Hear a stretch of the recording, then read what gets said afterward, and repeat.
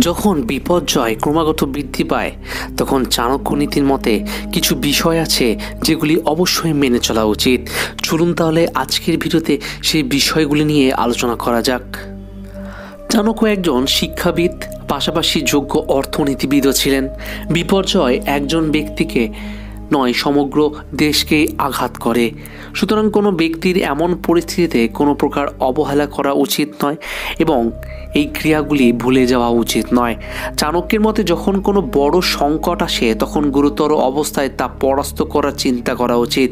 কারণ সংকটের সময়ে যে কোনো ধরনের অবহেলার জন্য ভারী মূল্য দিতে হতে পারে। সুতরাং যখন বিপর্যয় বড় হয়, তখন একজন ব্যক্তির উচিত তার জীবনযাত্রার মান পরিবর্তন করা। কারণ এটি করে সমস্ত ক্ষতি এড়ানো যায়। দুর্যোগের সময়ে উৎসাহিত হয়ে কোনো কাজ বা সিদ্ধান্ত নেওয়া উচিত নয়।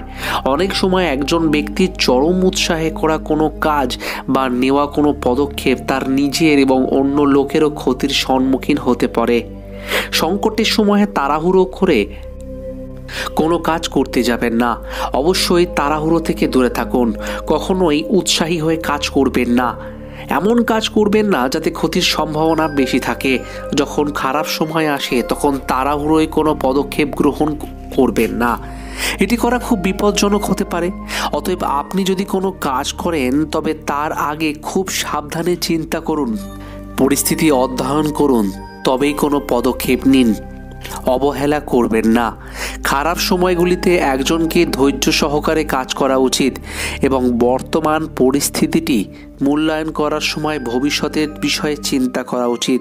বিপর্যয় ঘটলে প্রথমে নিজেকে রক্ষা করার চেষ্টা করা উচিত। দুর্যোগ অনুযায়ী সেই সমস্ত ব্যবস্থা কঠোরভাবে অনুসরণ করা উচিত, যা প্রমাণীকরণের সঙ্গে নির্ধারিত হয়। যখন আপনার জীবনেও কোনো বিপর্যয় বৃদ্ধি পাবে বা বিপর্যয় দেখা দেবে, তখন অবশ্যই এই চাণকের চাণক্য নীতিগুলি মেনে চলার চেষ্টা করবেন। ভিডিওটি বন্ধুরা, এখানে শেষ। চাণক্যের এই ছোট্ট কয়েকটি কথা অবশ্যই নিজেদের জীবনে মেনে চলার চেষ্টা করুন। দেখবেন, সব রকম বাধা, বিপর্যয় আপনার জীবনে যতই আসুক না কেন, আপনি তাদেরকে অতিক্রম করে ঠিক এগিয়ে যেতে পারবেন। ভালো থাকুন সুস্থ থাকুন। দেখা হচ্ছে আপনাদের সাথে ঠিক পরবর্তী ভিডিওতে।